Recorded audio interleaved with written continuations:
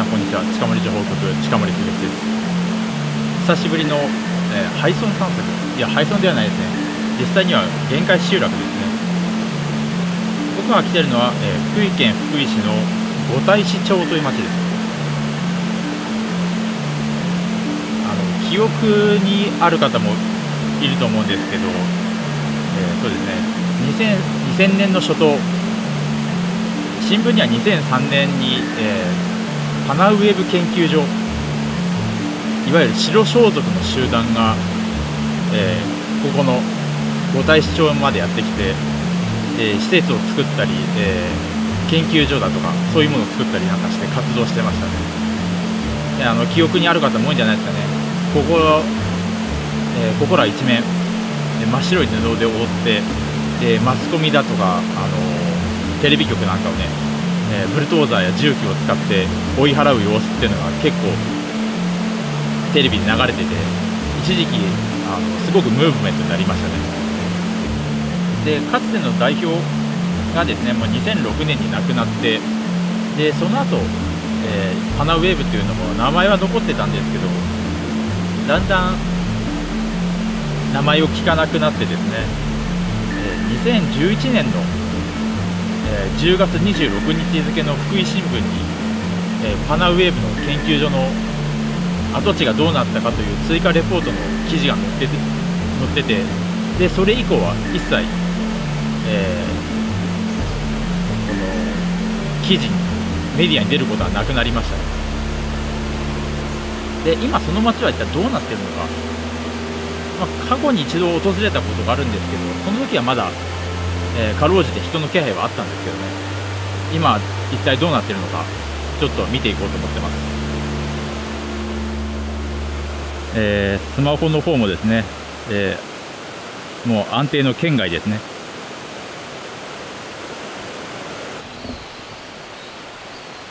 あそこに見えてる施設建物っていうんですかね。比較的多くのトラックと車が止まってるんですけど。あそこがかつてパナウェーブ研究所の施設だったところですね。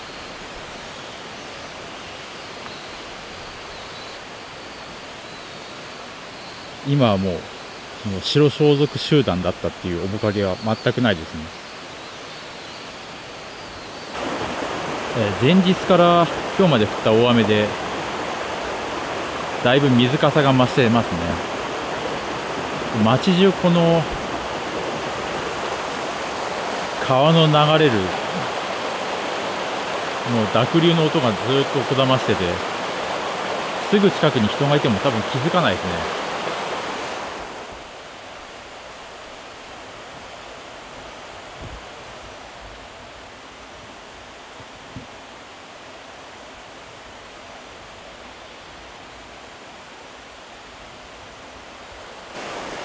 今この五大市町には、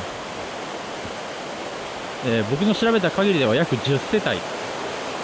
10世帯20名が住んでるということになってるんですけど誰一人会わないですね。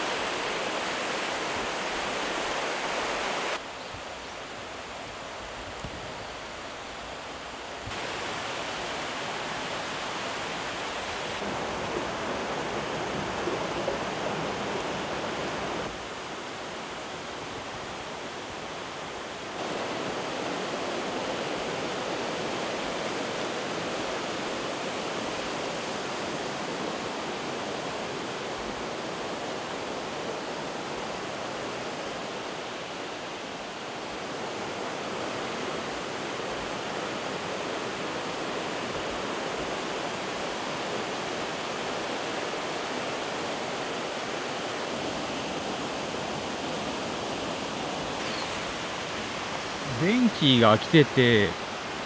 その人が住んでる気配はあるんですけどね。でも人がいる雰囲気がないんですよ。ここもすごい大きい家ですね。あの窓も昭和の初め頃のもんだと思うんで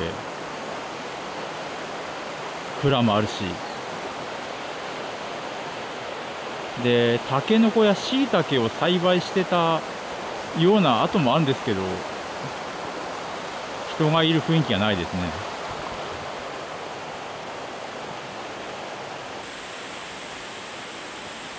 奥の家はもう完全に倒壊してますね。34年ほど前ここを訪れたことがあったんですけどその時も確かに人が少ない集落だなっていう印象はあったんですけどここまでひどく倒壊は進んでませんでしたね。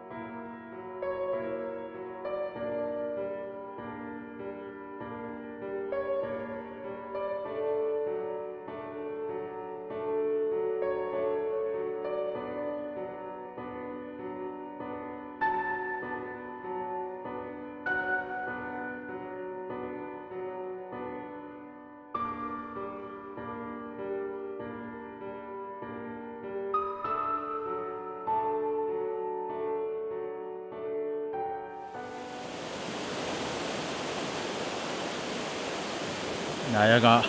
倒壊してますね。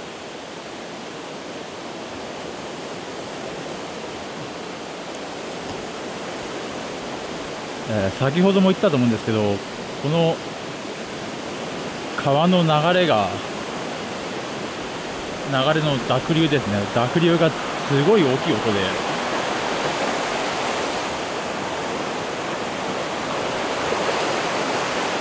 すぐ真後ろに誰かがいてもおそらく気がつかないです。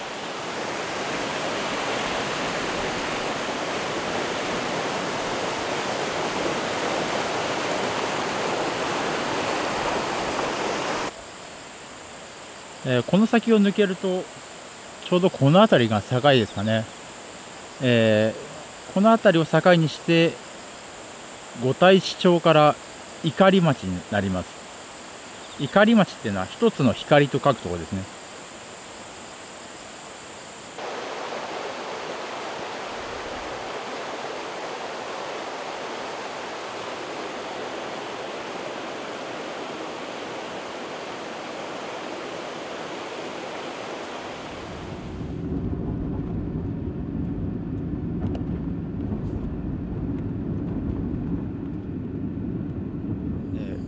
はい、いかがだったでしょうか？